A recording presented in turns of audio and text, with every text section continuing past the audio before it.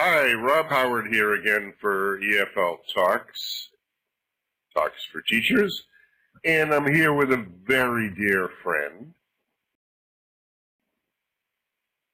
Marina Gonzalez. And Marina's coming to us from Argentina. I had the pleasure of meeting this wonderful person in Equitizel. We met earlier this year, and we've been besties ever since. And she's going to talk to us today about complexity theory. And this is something that's really interesting and relatively new. And I think this is perfect. So, Marina, it's your first EFL talk. Thanks so much for doing this. Thanks to you, Rob. It's my pleasure and really enthusiastic about doing it. Thanks. Great. So, I'll let you take it away without further ado, okay? All right. Okay, there we go then. Okay. Okay. Bye. So, uh, welcome everybody. All right, and the, the idea for my short talk is to tell you about complexity theory for EFL teachers and why we should think about it, okay? So, to get started, I think that, as we always do, we think that an image is worth a million words. And I wanted you to start with this typical, or what used to be a typical landscape of, of London, all right? Um, we used to talk about St. Paul's Cathedral as uh, a very important item. And it used to be when I was a child, uh, but this year when I went there, I just got this particular image. And I wanted you to see it so that you could, we could share what, what we talk about when we talk about complexity. Can you see that? There is not one line in specific that we have a number of buildings that are even stronger or more important or newer and uh, that call our attention even more than what traditionally uh, we used to we, we used to look at and there are a number of cranes all right so there are things being built there so when you see this skyline, you can see that there are a number of elements into play, and that if you only isolate the one that you traditionally wanted to focus on, you're missing a whole part of the story. Okay?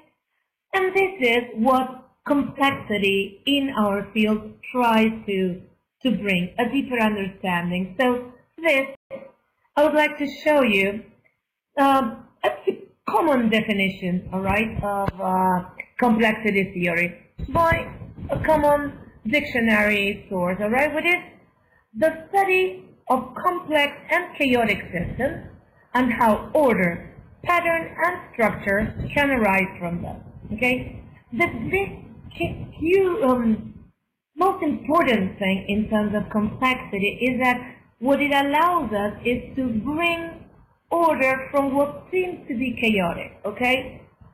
And of course, we teach. Um, so when we talk about, when we read this um, uh, definition, we can see um, the idea of pattern and structure. These are elements that are common for us. But when we talk about chaotic things, then th that is a, a little bit far. So the point is, why should we be interested in it? Okay? And again, another picture. Um, if we look at this child, who's a student of mine, all right, whom I love a lot, uh, and if you don't know him, you could say that my classes are boring, for example, or that he doesn't understand any English, or that he's interested in uh, some other things. But the point is that, as the text says, Many times what happens in our classrooms cannot be described if we don't consider a complex situation. For example, this particular image, okay? Um, in this moment, right, the, they're happy, the, this boy was taking part in an, out in, in an activity where they had to move to an, another building. He was, he had a, a lot of, um, it was very cold, outside, so he had lots of clothes, and inside it was very hot. And of course, he's a, a child, so he's all the time moving. And when the time came, I mean, as, as time passed, he started feeling drowsy, right? And, he, and eventually he fell asleep because the, the activity took like two, or two hours, all right? Now, I need to have a complete reading of what who he is because otherwise I would run the risk of being prejudiced as regards the child. And isn't that one of the biggest challenges that we have in our classes? That we need to have a real uh, a real grasp on reality and a real grasp of, on our students when we teach them. So, going more into, into detail, what is complexity? Complexity is not a synonym to complicated. It is because something complicated consists of a set of separate parts, okay, that can be isolated and put back together. And I'm sorry I can see back with a, without a C, sorry.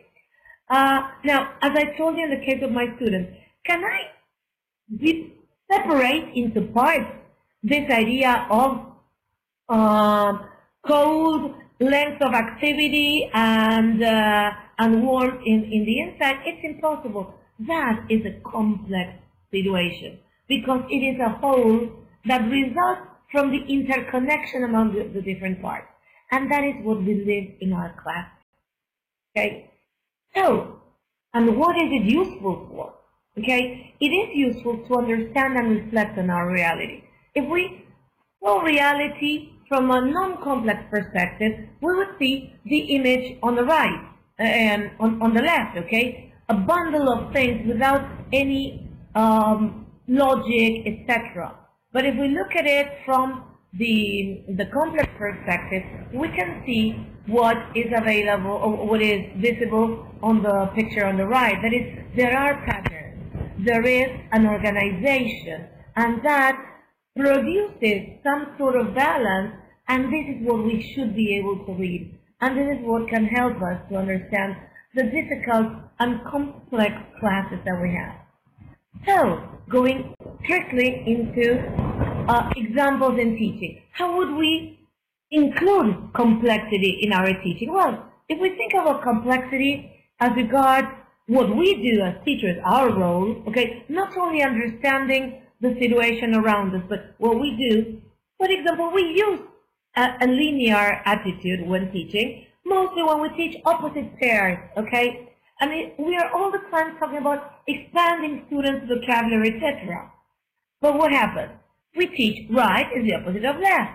But we could go further and include a complex perspective, including the idea of associated ideas such as right, left, wrong, appropriate, acceptable, so-so, in the center, or in the middle, and how these relate to the concept of right and left and the different layers, okay? So as, as you see, we are interconnecting things, helping people connect things, and not true, false, right, wrong, which are the biggest challenges that we have in our discourse, okay? And going a little bit further into this, let me show this through an example uh, of two teachers' vignettes, okay? That is a typical staff room comment, right? A teacher saying, I've done all I could with this child.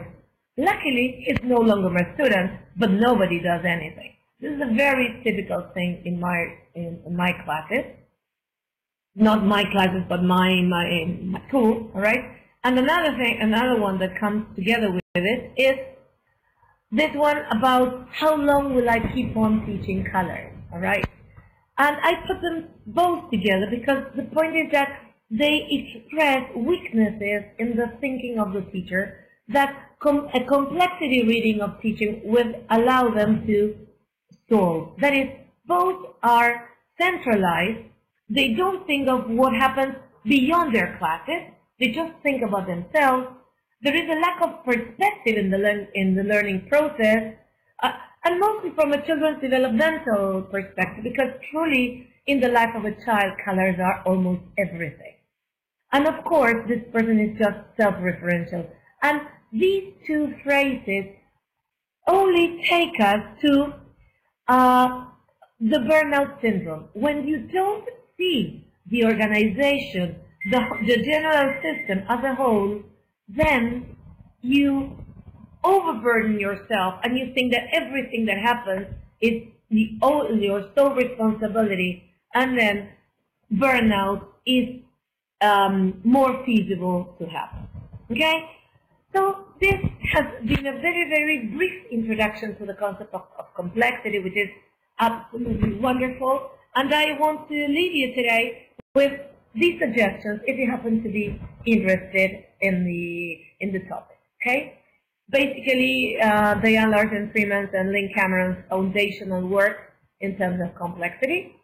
And of course, Sarah Mercer's uh, contributions uh, that are, she's constantly producing more and more chapters and articles together with Achilleas Kostoulas and uh, um, a number of, uh, of other people in, in the field, okay? So thanks for, for being here with me in whatever time and moment that you happen to be able to watch this. And I'm here if, in case you want to contact me.